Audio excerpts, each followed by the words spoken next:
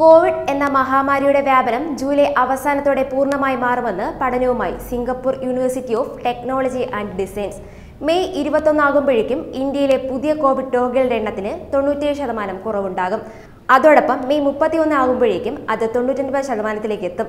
തുടർന്ന് ജൂലൈ ഇരുപത്തഞ്ചിന് പുതിയ കോവിഡ് രോഗികൾ രാജ്യത്ത് ഇല്ലാതാവുകയും നൂറ് ശതമാനം രോഗവ്യാപനമില്ലായ്മ എന്ന നിലയിലേക്ക് ഇന്ത്യ എത്തുമെന്ന് Singapore university of technology and designs വ്യക്തമാക്കുന്നു. എന്നാൽ കോവിഡ് പൂർണമായി മാറുന്നത് രണ്ടായിരത്തി ഇരുപത് ഡിസംബറിലായിരിക്കുമെന്ന് പഠനങ്ങൾ സൂചിപ്പിക്കുന്നു. കൂടാതെ പകർച്ചവ്യാധികളുടെ വ്യാപനം ഗണിതശാസ്ത്രത്തിന്റെ സഹായത്താൽ തടയാൻ സഹായിക്കുന്നവയാണ് കമ്പാർട്ട്മെന്റ് മോഡലുകൾ എന്ന് കണ്ടെത്തുകയുണ്ടായി. ഇത് പ്രകാരം ജനക്കൂട്ടത്തെ പലതായി തരംതിരിക്കുന്നു. ഓരോന്നിനെയും ഓരോ അക്ഷരത്താലാണ് തിരിച്ചറിയാനാവുക. കൂടാതെ ഇരുപതാം നൂറ്റാണ്ടിനിടെയാണ് ഇത്തരം മോഡലുകളുടെ തുടക്കം.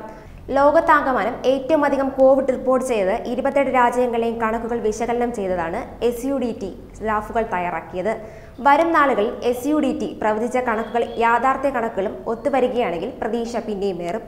ഓരോ ദിവസത്തെയും കണക്കനുസരിച്ചാണ് ഗ്രാഫിൽ മാറ്റം വരുന്നത്.